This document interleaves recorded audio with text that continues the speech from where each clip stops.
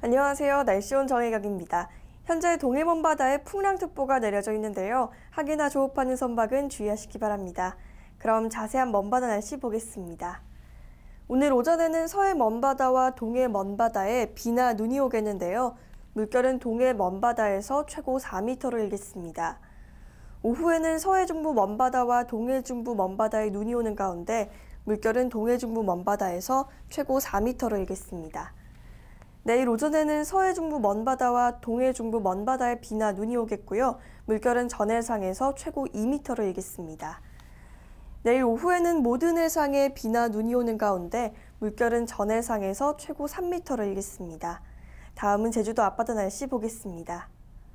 오늘 오전에는 구름 많겠습니다. 물결은 최고 2.5m를 일겠습니다.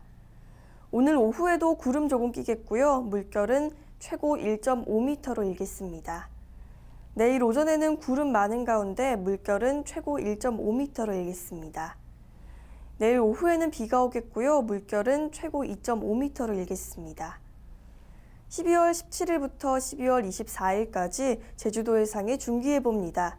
이번 예보 기간에는 17일과 19일 오후부터 20일 오전, 21일에 비나 눈이 오겠는데요. 바다의 물결은 17일에 최대 5m로 높게 일겠고 그 밖의 날은 최대 3m로 일겠습니다. 지금까지 해상 날씨였습니다.